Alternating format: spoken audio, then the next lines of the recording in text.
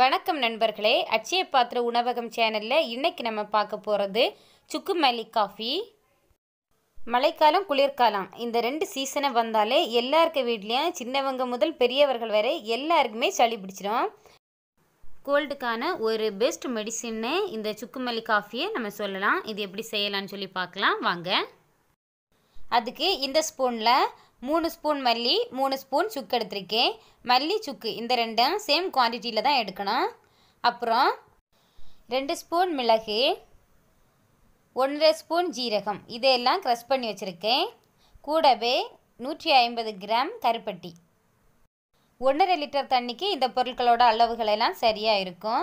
இதை நம்ம கொஞ்சம் வத்த வச்சு தான் எடுக்க போகிறோம் இப்போது பானையில் ஒன்றரை லிட்டர் தண்ணி ஊற்றியிருக்கேன் இனி நம்ம க்ரஷ் பண்ணி வச்சுருக்கிற எல்லா பொருட்களையும் இதில் சேர்க்கலாம்.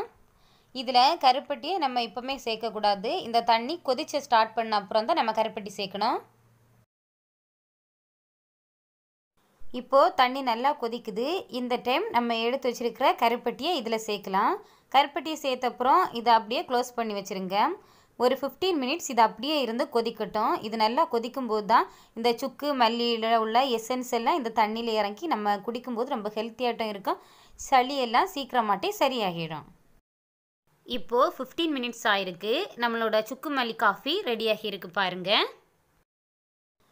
இதை நீங்களும் வீட்டில் செஞ்சு பார்த்து உங்களோட ஃபீட்பேக்கை கமெண்டில் போஸ்ட் பண்ணுங்கள் இந்த வீடியோ உங்களுக்கு பிடிச்சிருந்தனா லைக் பண்ணுங்கள் உங்கள் ஃப்ரெண்ட்ஸுக்கு ஷேர் பண்ணுங்கள் மறக்காமல் சப்ஸ்கிரைப் செய்துட்டு பக்கத்தில் இருக்கிற பெல் பட்டனை கிளிக் பண்ணுங்கள் தேங்க்யூ